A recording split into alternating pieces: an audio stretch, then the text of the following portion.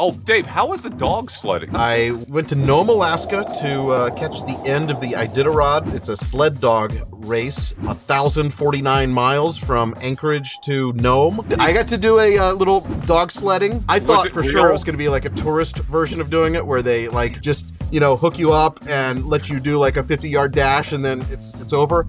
No, they hooked up four dogs and a sled, and these dogs are trained; they know where to go. But they just took off. And Wait, I, just I was, with was- you? just with me. No, no Just guy. you?